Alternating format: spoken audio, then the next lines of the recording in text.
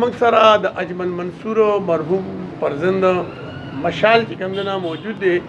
نو موږ د تنا دا مطالبه کوو چې د پلار په باره کې یو شعر وایي خپل غونډې په خوږ اواز د پلار مې یو شعر دی چې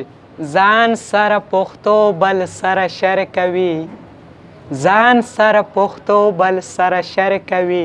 زړه مې خرڅه خرڅه ستا په سر کوي دلته بنجاري نکریزې مه راوړه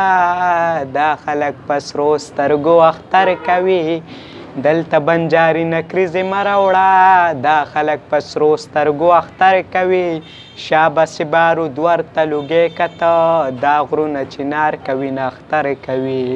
شابه سې بارود ورته لوګی کته دا غرونه چنار کوي نه تر کوي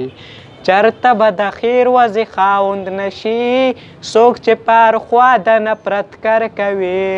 ستا د خواږي رجمل به سوایم اوس خوم د شپې د کلی نه بخر کوي او خپل مې یو نن نظم جوړ کړی چې آزاد نظم دی خپل مې یو آزاد نظم جوړ کړی را علیزی صاحب چې چې ستا سترګې والدت دی چې ستا سترګې وال عادت دی زه به ستا دا سترګې وښکم چې ستا سترګې وال عادت دی زه به ستا دا سترګې وښکم ځکه مونږ پښتانه یو په تور سرو زړګې سیزو ځکه مونږ پښتانه یو په تور سرو زړګې سیزو اوس مې ماپ کړې اوس مې ماپ کړې دا حرکت سبا ونه کړې اوس مې ماپ کړې اوس مې ماپ کړې دا حرکت سبا ونه کړې ځکه ته به هم پښتون یې مونږ د یو ادم بچي یو ځکه ته به هم یې پښتونه مونږ د یو ادم بچي یو په تا به دا بدې لګي په تا به دا بدې لګي دا خبرې دې پېدېري تا ته ځان به په